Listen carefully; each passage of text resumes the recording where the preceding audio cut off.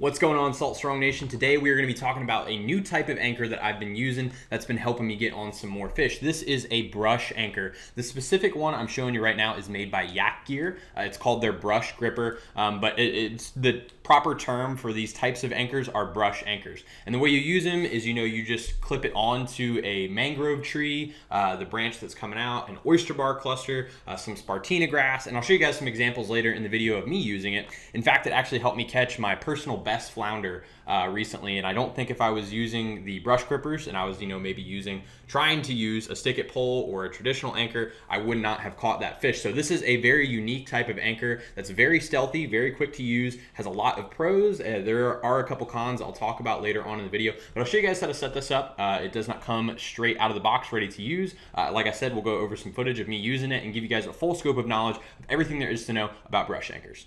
So getting into setting this guy up, let's go ahead and pull him out of the package. Basically, all you've got in pretty much any package, uh, the YakGear I know comes with the tether rope. Some other manufacturers that make these may not come with it. Uh, this is a nice piece of paracord right here. And then you've obviously got the actual grippers themselves. You can see they've got the nice teeth right here. And once we go ahead and rig this up, you'll be able to see exactly how this works. Essentially, the rope is gonna work as a tension and a tether uh, for when you grip down on something. Uh, so essentially all you need to do is just make sure you've got your rope stretched out here. Go ahead and get it, you know, make sure there's no twists or tangles in it, and go ahead and start threading it through the grippers themselves. Now on the back, you'll see that there is a tension wrench, and what you essentially just need to do is take the end of one of the ropes and just slide it right through there.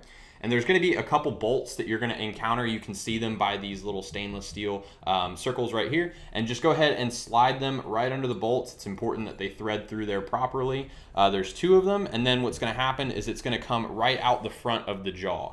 So once you've got it out the front, make sure you give yourself a little bit of room to go right back through on the other side. So I, I would recommend flipping it. Um, and just like I said, run it back through those bolts. Make sure that it's going through there. So we've got one bolt done. And then we're gonna run it through the second here now. And this is uh, where it starts to get a little bit tough on setting this up. If you need a pen or something a little bit sharper, you know, that you can help push this thing through uh, the back end, we're gonna go right back through that tension rent, uh, the tension spring. Essentially just all you need to do, you might be able to just do it, you know, with your fingers if you, uh, you can kind of push it a little bit, uh, but just run it through the back of this spring and continue to push.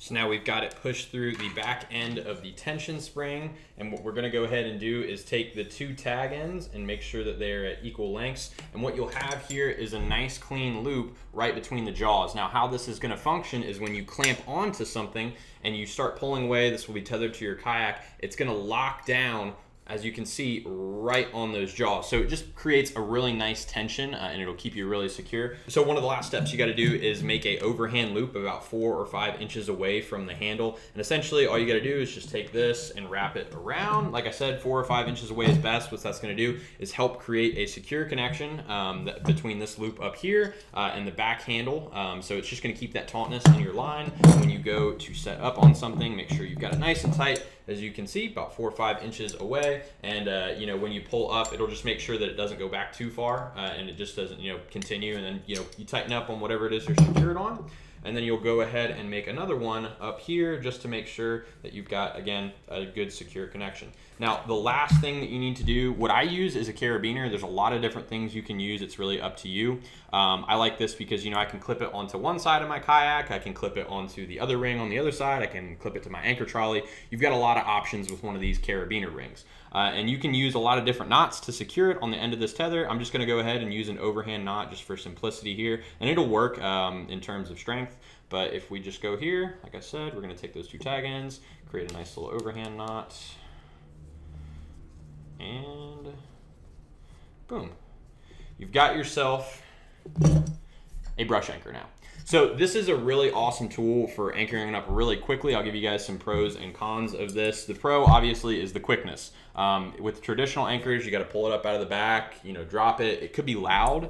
Um, so, you know, there's that's another pro right there. This is really stealthy. Uh, you're not going to be making a lot of noise. Everything is out of the water unless, you know, you're going to clamp onto a clump of oysters or something of that nature, um, or a submerged branch or something like that. Uh, very, very stealthy, uh, very quick, a lot faster even than a stick it pole. You know, you have to unclip your stick it pole, turn it around, stick it into your anchor trolley, um, make sure that it's secure in the mud uh, or the sand, wherever it is you're, you're putting it into. This is the fastest uh, and stealthiest option in terms of anchoring. Um, I, I, like it a lot. It's really versatile. You can move it around on your kayak uh, really fast as well. Um, in terms of cons, a lot of things that you're going to clip onto are not going to be as secure as what you would use, you know, for your stick it anchor or your traditional anchor itself. So if you clip onto some Spartina grass, you know, I wouldn't want to, you know, hang on to that for more than 10, 15 minutes uh, because it's going to end up uprooting the grass itself. The oyster clumps, you know, as you're sitting in really heavy current, could become uprooted as well. A mangrove branch might be the most secure thing you could use this on, but you've still got the possibility of, you know, breaking the branch. So this is a very great anchor for a run and gun style of fishing like I have. I'm usually moving around a lot. I don't stick in a, a spot for, you know, more than 10, 15 minutes if I'm not seeing action.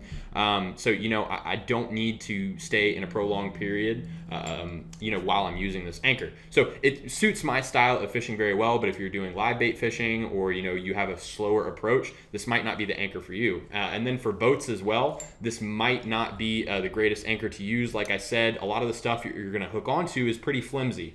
So it, unless you can find something that's very, very secure because your boat's going to weigh a lot more, I would not recommend using this anchor. But like I said, if you're in a kayak and you have a run and gun style of fishing, this is a very quick and stealthy option to anchor up your kayak. Now, I will definitely say that if I was using a, a, different, you know, anchor system, I would be catching a little bit less fish in certain areas. And I'll give you guys an example of that. Um, I'm going to show you a video here in a second. I was moving down a creek that had some really heavy current. Uh, it was a very deep channel. I don't even know if a stick pole would have gotten to the bottom of it, uh, but there was a grass line right over to my right. And all I had to do was quickly clip this anchor, very stealthy. You know, even if I had dropped uh, a traditional anchor, it could have spooked away the fish that I ended up catching with this anchor. It was actually my personal best flounder. So uh, it, it, was a really awesome, uh, you know, demonstration of how well this can work and how versatile it is, uh, even in you know really quick situations, having to grab onto a grass line and heavy current around a lot of structure. So I'll go ahead and show you guys that now, so you can see how well this guy works.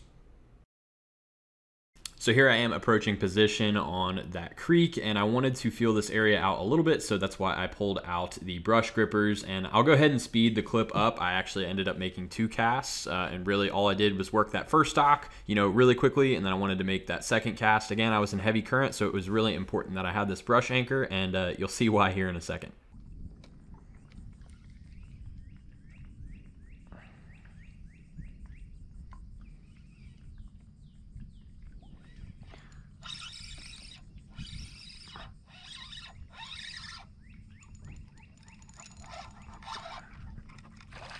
Oh my gosh.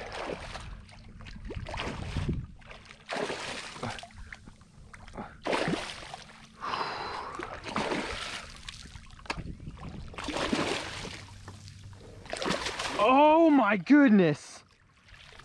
So as you guys saw, this was an essential part of catching that flounder. I was able to get really close to that grass line, stay in position, even in heavy current, uh, and I was able to make the cast exactly where I wanted to, pull that fish out of there. Uh, and even while I was fighting it, you know, it kept me right in position. So this is a great tool if you have a run and gun style of fishing. To recap, you know, it might not be great if you want to stay in an area for a prolonged period of time because the things that you might be anchoring on might not be super secure. I, I have uprooted myself uh, while holding on to some grass. That grass is not in there super deep, uh, but you know, if you're just there for a couple of minutes, like up to 10 minutes, this is an essential tool for you to have, you know, as you're moving around. Very quick, very stealthy. Uh, so I would definitely recommend adding it to your loadout if you're a kayak fisherman who fishes kind of like I do, that run and gun style of fishing. So if you guys enjoyed this review, uh, please give this video a like. If you want have any other questions about this kayak tool uh, or any others that you'd like for me to check out, please leave them in the comment section below and I can respond to you there and get working on some of these other reviews. Uh, but if you guys want to learn how to become a better fisherman, find those right fishing spots like I did with that flounder, and just become a better angler overall, I highly recommend you check out the Salt Strong Insider Club.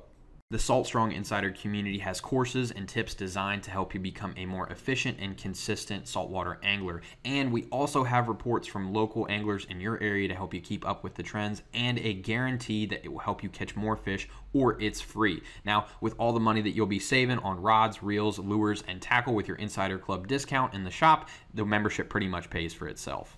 So guys, thanks again for watching and I'll see you on the next video.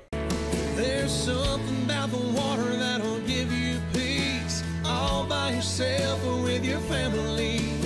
Live salt strong and wet alive.